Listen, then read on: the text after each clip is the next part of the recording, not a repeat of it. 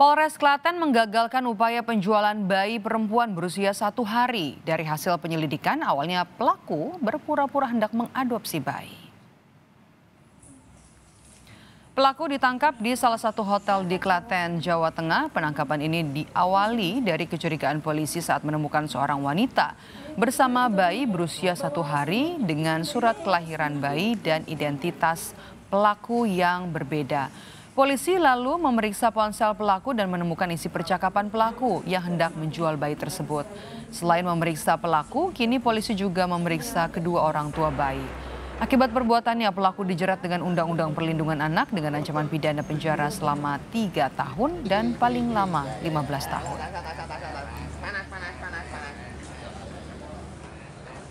Untuk saksi, kita sudah memeriksa dua orang saksi. Untuk korban bayi perempuan yang belum memiliki identitas yang diperkirakan berumur satu hari.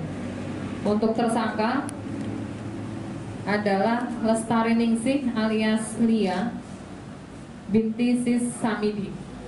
Untuk modus operandinya, pelaku mengaku sebagai orang yang mau mengadopsi bayi, kemudian setelah mendapatkan bayi, pelaku menjual bayi tersebut kepada orang yang membutuhkan untuk mendapatkan keuntungan.